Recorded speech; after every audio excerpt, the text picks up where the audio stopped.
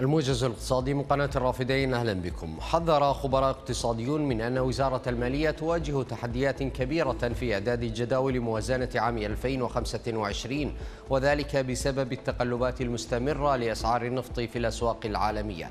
وقال الخبراء إن انخفاض أسعار النفط وعدم استقرارها يؤدي إلى نقص في العائدات المالية التي تمثل مصدر الدخل الرئيس للحكومة بالإضافة إلى اتساع نطاق العجز المالي الذي ربما يفوق المسجل في موازنة 2024 وأضافوا أن التوترات الإقليمية ستزيد من تعقيد عملية التخطيط المالي التي تفرض التزامات على الحكومة في مجالات تأمين الرواتب والدعم الاجتماعي والبنية التحتية. بما يشكل ضغطا على الموازنة.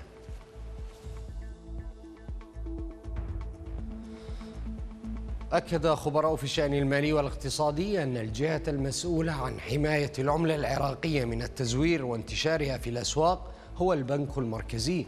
وقال الخبراء إن البنك المركزي يجب أن يعمل على إيجاد وسائل لحماية العملة التي يصدرها من التزييف. وهذا الأمر موجود بكل دول العالم.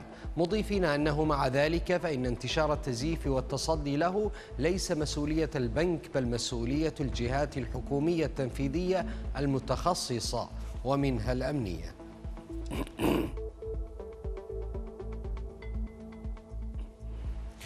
أعلن المتحدث باسم وزارة الإعمار والإسكان نبيل صفار أن صندوق الإسكان بحاجة إلى تمويل إضافي لإعادة فتح القروض مستبعدا إعادة فتح القروض الخاصة بالصندوق خلال الفترة الحالية.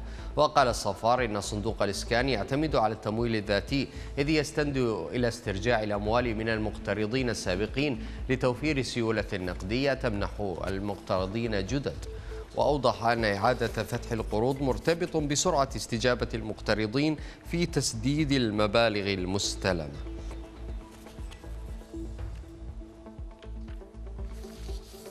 حضت هيئة النزاهة على أهمية تعديل قوانين استخدام العمالة العربية والأجنبية ووضع مواد قانونية صارمة وتشديد النصوص العقابية للقضاء على الطرق غير الشرعية لدخول وتسرب العمالة إلى داخل العراق. وأشار مكتب الإعلام والاتصال الحكومي إلى أن ضعف الغرامات المفروضة على الأجانب الداخلين خلافا لأحكام قانون الإقامة أو الذين لم يطيعوا أوامر الترحيل الصادرة بحقهم. كبد الدولة مبالغ مالية كبيرة لإبعاد العمالة الداخلة بطريقة غير مشروعة.